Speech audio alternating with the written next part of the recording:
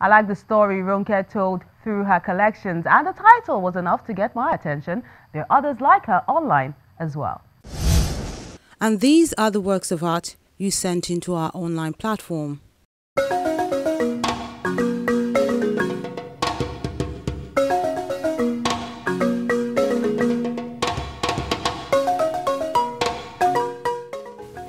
We begin with these works of art created by these women. Chidimaike Gwonu oil on cartoon piece called Powerful Ignorance.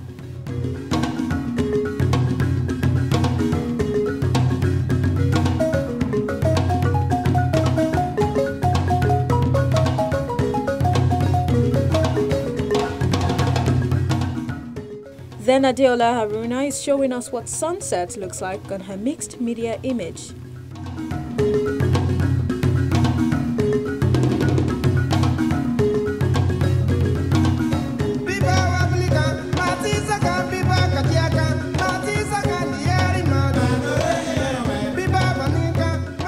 These men are celebrating females, from kind gesture done by Chibuko Okunaya, who has captured his excited niece with his blue biro, to Kelvin, who has used pencil and blue pen to show these ladies in final thought.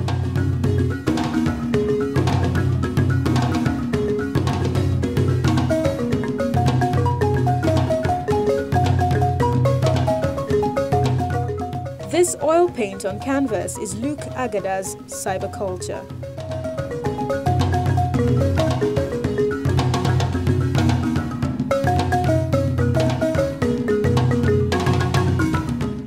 While Olamilekan has mood by device done with oil on raffia mat.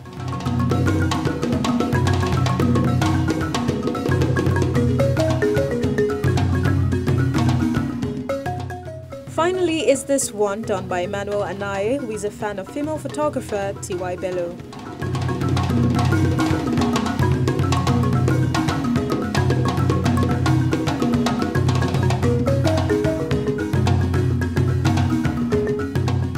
Those are the works you sent in this week, and we encourage you to always be on the lookout on the show to see if your work of art made the cut.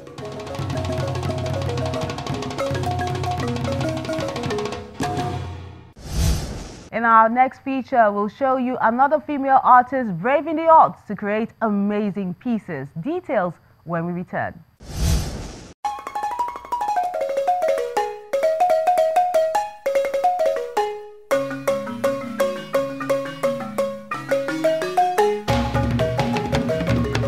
As a cartoonist, he's able to see every situation from the lighter side, no matter how tragic or chaotic.